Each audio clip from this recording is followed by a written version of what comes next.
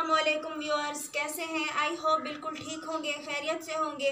अल्लाह की मेहरबानी से मैं भी ठीक और खैरियत से हूँ। आज मैं अपने किचन में बना रही हूँ कीमा पुलाव। तो रेसिपी स्टार्ट करने से पहले मैं इंग्रेडिएंट्स आपको बता देती हूँ, फिर उसके बाद स्टार्ट करते हैं। राइस हाफ़ के जी लिए मैंने, आधा घंटा पहले इनको भिगो के रख दिए। कीमा एक कप भर के लिए मैंने। टमाटर तीन से चार दरमियाने साइज़ के मैंने टमाटर लिए। हैं दो दरमियाने साइज़ के प्याज, लहसुन का पेस्ट एक टेबल स्पून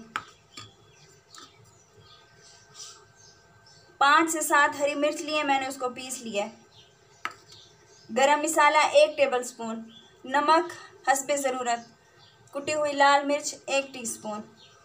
चलें रेसिपी को स्टार्ट करते हैं। वन कप ऑयल डालूँगी। गरम मसाला इसमें डाल दूँगी।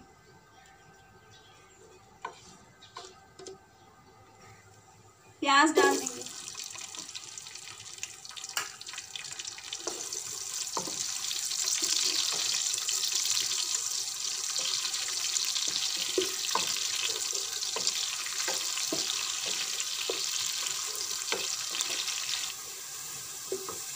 प्याज गोल्डन ब्राउन हो गए अब मैं इसमें लहसुन डाल दूँगी।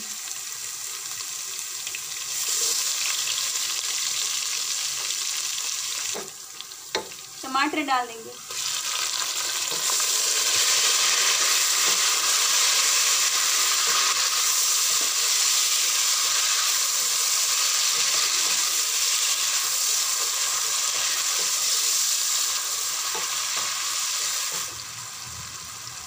टमाटर गलाने के लिए थोड़ा सा पानी डाल देंगे।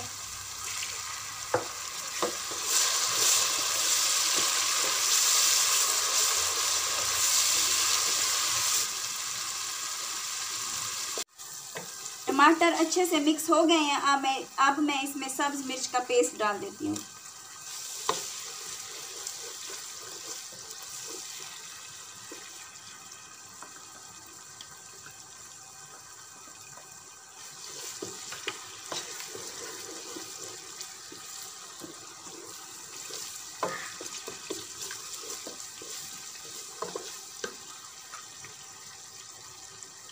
लाल मिर्च का पाउडर।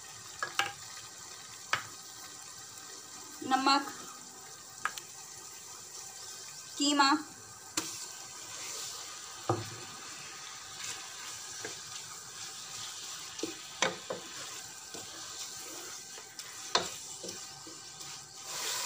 कीमे को मैं पाँच से सात मिनट तक अच्छी तरह से फ्राई कर लूँगी, क्योंकि ये बारीक पिसा हुआ है।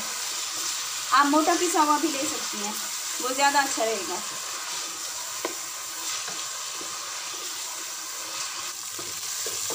कीमा मैंने अच्छे से फ्राई कर लिया है।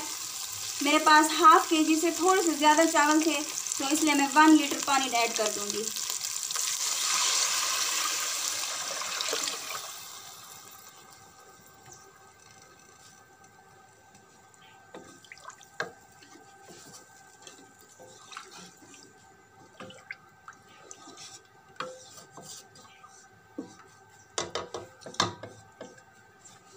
बॉयल आने तक मैं बंद कर दूँगी।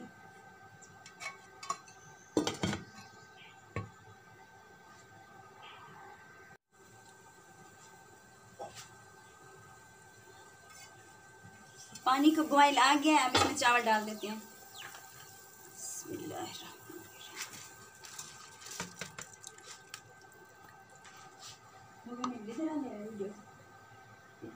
पता है Mình sẽ.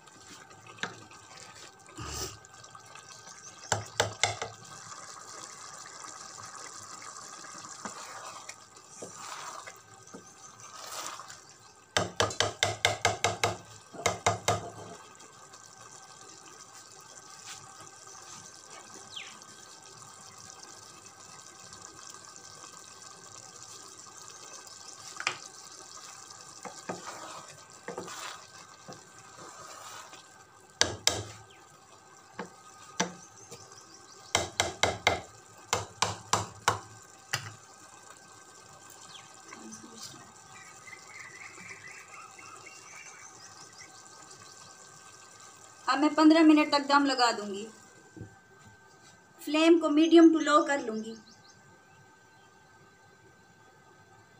पंद्रह मिनट के बाद मिलते हैं।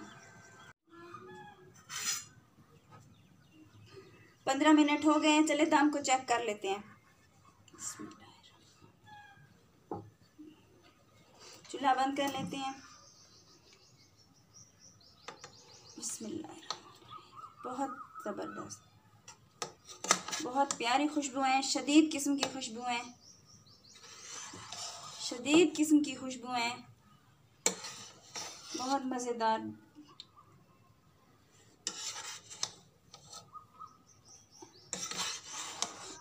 चले, मैं इसको डिश आउट कर लेती हूँ।